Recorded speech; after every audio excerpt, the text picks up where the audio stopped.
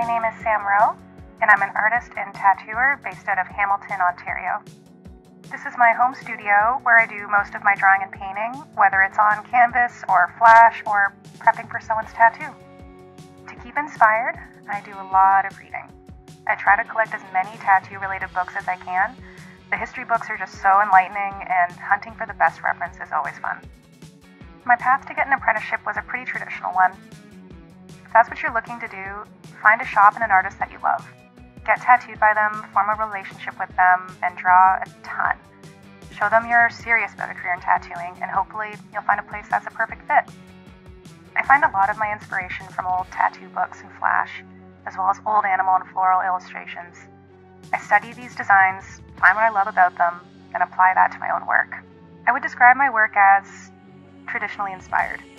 I love to use bold lines and heavily saturated colors. Tattooing has really influenced how I handle all of my drawing and painting now. It's important to design with legibility and longevity in mind. My main aspiration is to just give my clients the absolute best tattoos that I can. I feel that every single tattoo is an honor.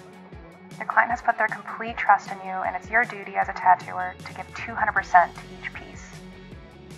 Collective Arts is currently featuring my work on the Daily Forecast Mimosa Style beer. This piece is actually a play on the old Bert Grimm tiger head design, but as a panther that's also puking a rainbow.